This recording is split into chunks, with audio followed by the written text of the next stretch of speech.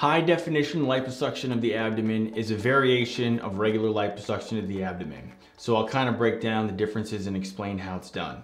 So normal liposuction or any liposuction involves removing unwanted subcutaneous fat from a specific area. So if you can pinch it, that means it's fat that I could suck out. Um, if we're just doing regular abdominal liposuction, my goal is to make your abdomen as flat with the best contour I possibly can. Now, if we're doing high def liposuction, it gets a little bit different. So what's different is I need to be able to feel your underlying muscles. So I need to be able to mark on your skin where the lines are between your muscles. And if it's the abdomen, we're talking about your rectus abdominis muscles. So I need to be able to draw out essentially your six pack on your skin.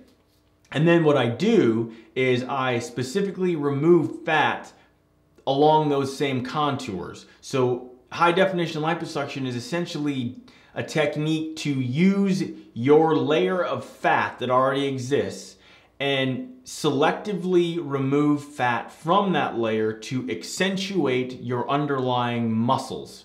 So I'm gonna remove extra fat on what would be the concavities or the low points of your rectus abdominis muscles. And I'm gonna leave a little bit more fat on top of where the muscles are convex or sticking out. So that's essentially what high definition liposuction is. It's a little bit more technical, takes a little bit more time, um, and I'm trying to accentuate the underlying muscle contours of your body by selectively removing a little bit more fat out of various areas of your abdomen. Um, so to be a candidate for this, I have to be able to feel your muscles underneath. The other thing I want to note is that you need to maintain a healthy lifestyle after high definition liposuction because if you don't and you gain more weight and stop working out, you're going to have uneven fat on your abdomen, meaning where we selectively removed more fat and intentionally so where I intentionally removed more fat, leaving less fat behind, and where I intentionally remove less fat and leave more fat behind, that's gonna look odd if you gain a bunch of weight. So if you want high definition liposuction, which is awesome, I love it, you have to pretty much commit to being healthy for as long as possible. I wanna say for the rest of your life, but that's unrealistic. So commit to being healthy for as long as you possibly can and know that when you can't keep up a normal physique and exercise routine, your abdomen might look a little weird.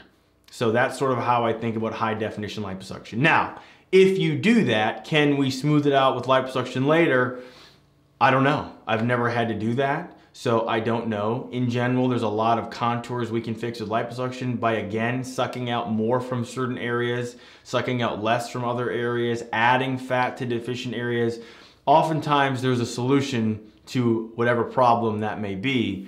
But I want people who get high definition liposuction or, or who are interested in it to know that those contours that are left behind after high def liposuction look great when you're in shape because they accentuate your muscles.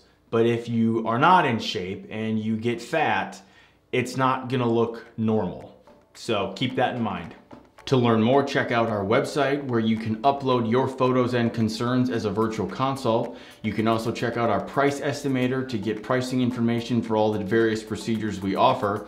And finally, if you'd like to have your questions answered on a future podcast or Q&A video session like this, please leave a message on our SpeakPipe. You can go to our blog page and our SpeakPipe is located there. Thanks for listening.